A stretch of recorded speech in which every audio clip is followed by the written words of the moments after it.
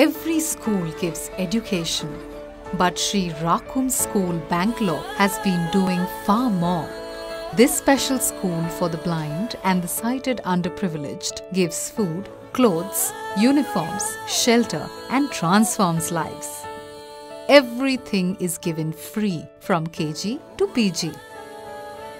When I was just six months old baby, my mother left me here. I have never seen this world. But I can see my Rakum school. These students at Sri Rakum School at Arkavatilyur, Bangalore will soon lose their building and will be denied a future. Only your donation can rebuild their life.